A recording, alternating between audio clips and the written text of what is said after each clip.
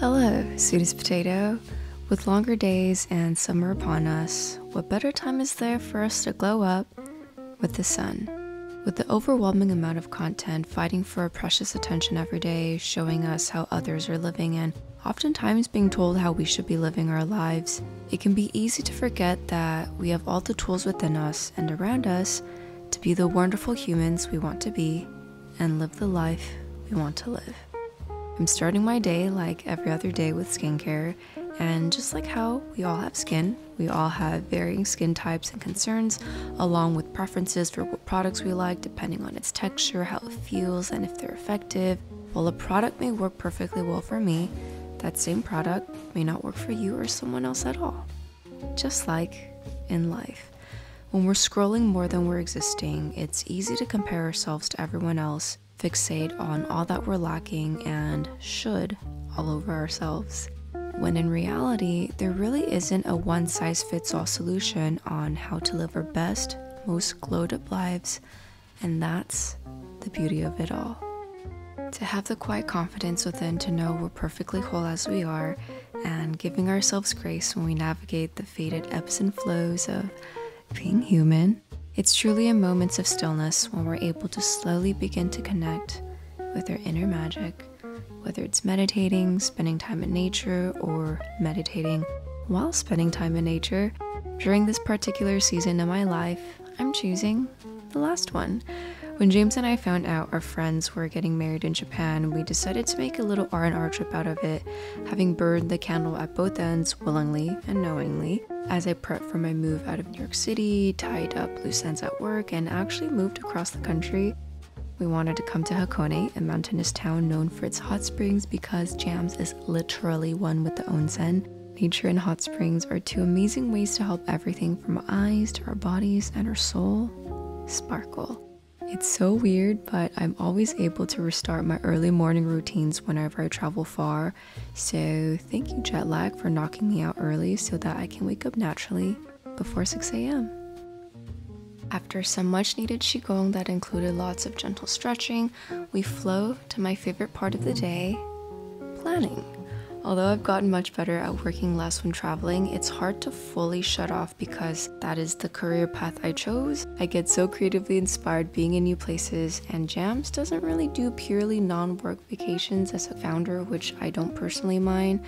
Doing this for a few minutes at the start of my day also helps me remember and focus on the one or two most important things I need to get done so we can frolic stress free later on in the day.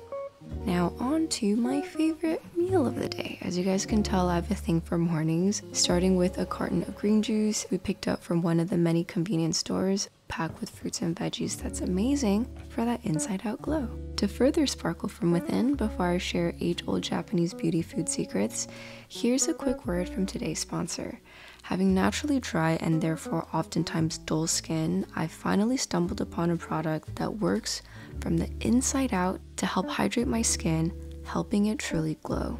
While I've been keeping up with skincare for the past decade, Ritual's High Hyacera capsule is designed to promote skin support from within. It contains two of the best clinically studied ingredients shown to help minimize wrinkles and hydrate skin, all in one daily capsule that can be conveniently taken morning or night with or without food, in a newly introduced vanilla scent. Ritual is also super transparent about where the labeled ingredients come from and why they're included in the formulation, so we know exactly what we're putting into our bodies. And yes, this is the same Kewpie that makes the delicious Japanese mayo. If you're looking to enhance your skincare routine from inside out, you can get 20% off your first month of Ritual with Rowena20 by heading over to ritual.com slash Rowena20.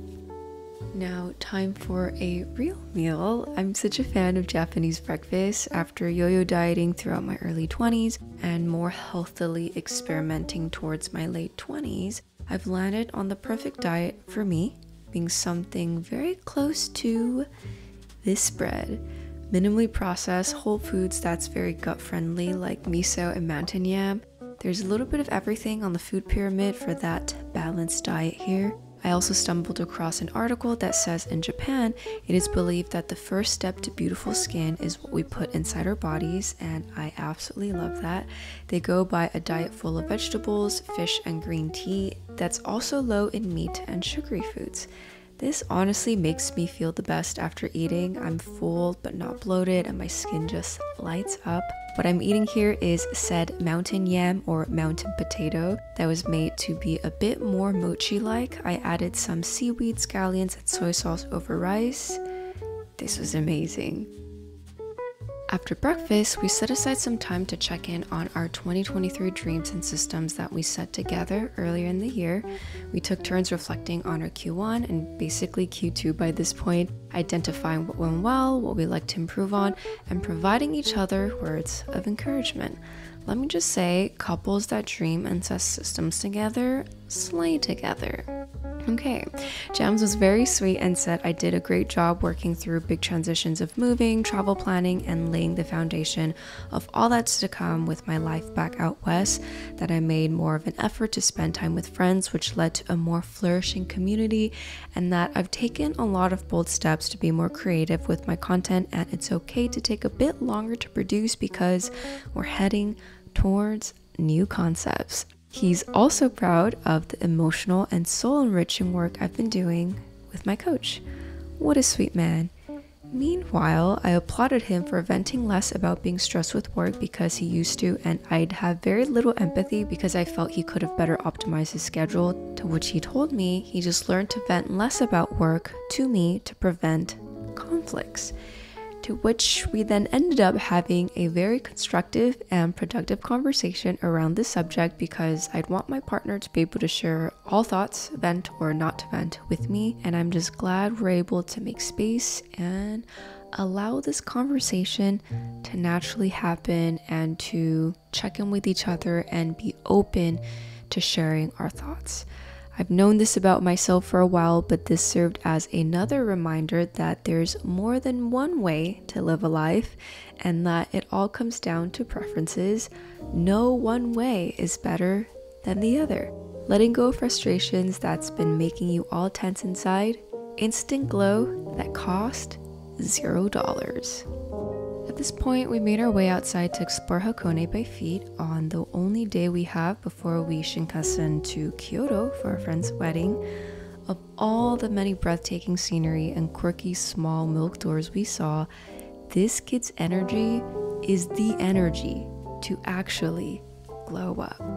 Always remember the child at heart and the child within us all.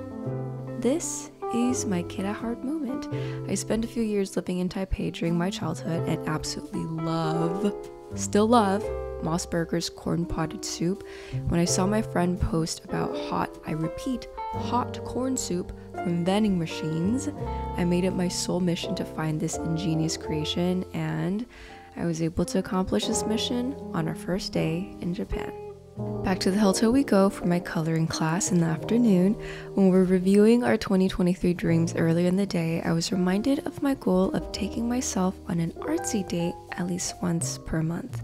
Growing up, arts and craft days were my favorite school days, and in college, when I was going through it, not really in the best place, I took a design for fundamentals class that included lots of playing with paint, drawing lines, and exacto knifing. This class was one of the only things that was able to help me stay grounded in the present during very turbulent times. In our very distracted world, there's just something so therapeutic about using our right brain and completely focusing on a single task with travels, prepping for the move, and handling off things with my team in New York, this little goal of mine was put on a back burner all year, but we're able to check it off for the month of May further indulging in my childhood favorites. If you know, you know, this is my favorite pudding. While Jams works on his officiant speech in the back, we actually met at another friend's wedding where he was also officiant, and I fell in love at first listen, if that's even a thing.